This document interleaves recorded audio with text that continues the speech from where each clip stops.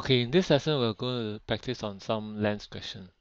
Okay, this question asks which ray behave correctly when passed through a converging lens.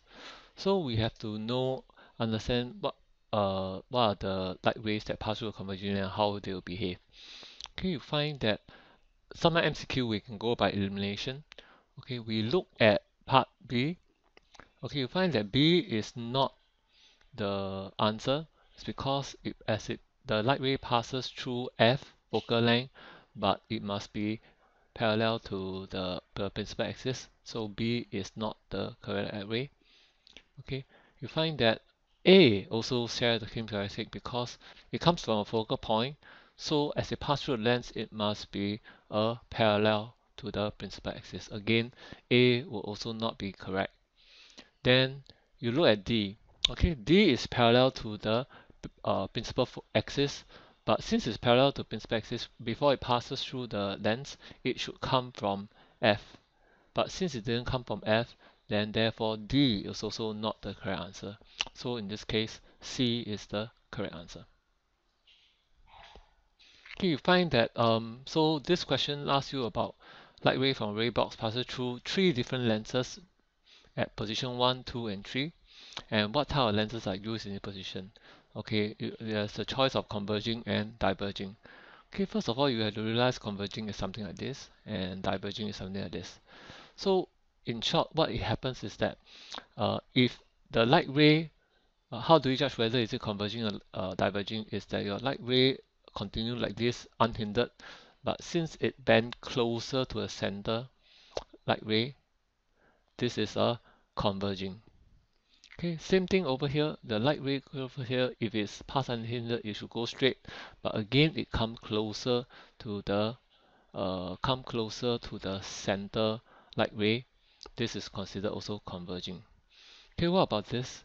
Okay, you find that actually, if you continue, if the light ray continue on like this, okay, uh, after passing through the lens, it should, uh, but instead it actually goes away from the uh, center line okay that means that it is diverging. Okay so in this case B is the correct answer. Converging converging diverging.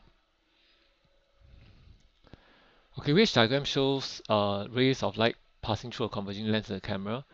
Okay we have to remember how a camera image look like under yeah. so a camera would have this characteristic real, inverted, and diminished, meaning smaller. So your big object becomes smaller. So if we look back, you find that only C fits this category because it is smaller and it is inverted. Okay, this one is, is bigger, is inverted, so this is not correct. This is same size, also not correct. And it's upright. Okay, and this is smaller, but it is upright. So again, this is not correct. So C is the answer. Okay, so this particular question says that a student want to make a copy of a picture with a height of 2 centimeter. So you use a photocopy machine and prints the image and so on. So uh, take note that this is a scaled diagram. Okay, it is to scale. So essentially you have to draw something on it. Okay, the answer to this is actually a copy of the image. So that means that if the height is 0, a copy means that the image also is 0. Okay, so right now the question said all the characteristics formed on the paper. So we find that it is same size, okay, and uh, it is real and it is inverted, okay, because this one is under situation where the object is at uh, 2f, okay. So then the next question is uh, you need to complete the light ray diagram in figure 5.1 okay and determine the focal length of the lens. So this is the uh, original image. So you want to you want to construct the light ray first of all just construct a light ray that's passing through the center of the lens and it will just go straight. And we know that the image would be 2 centimeter. So you just only need to find okay starting from here a 2 centimeter line that will fit okay so which means that it's something like this. So it's 2 centimeter.